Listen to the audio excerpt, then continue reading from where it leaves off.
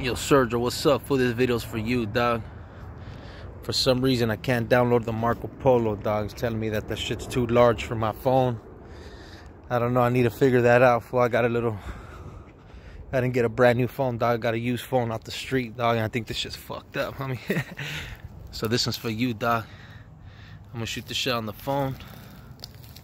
Watch out. You. Smooth. It was flaked out. You can't see, but that shit is flaked out super flake. Just put it all back together. Today hums.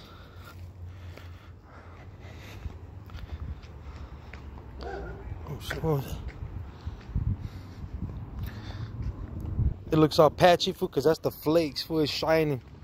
It be shining. I need to still need to put my chrome back together right here in the back. I still need to put my chrome around the uh the uh, front window here. Got all that shit. I went ahead and I ordered the chrome that goes right here on all four. I need to put this chrome on right here. I put on my I put on the markers today for the red markers.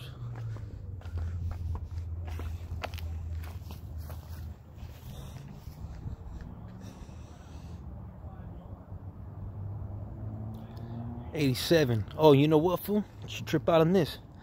I did my research on these cars, right? the 87 El Camino, man, they made they made it close to 30,000 of this model, man, throughout the United States. El Camino.